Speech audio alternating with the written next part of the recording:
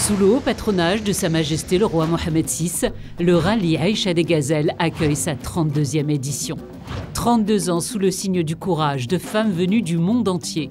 32 ans que le rallye Aïcha des Gazelles symbolise l'engagement, la solidarité, la tolérance et la modernité. 32 ans de fierté partagée pour cette aventure du cœur qui correspond à nos valeurs et celles du Maroc.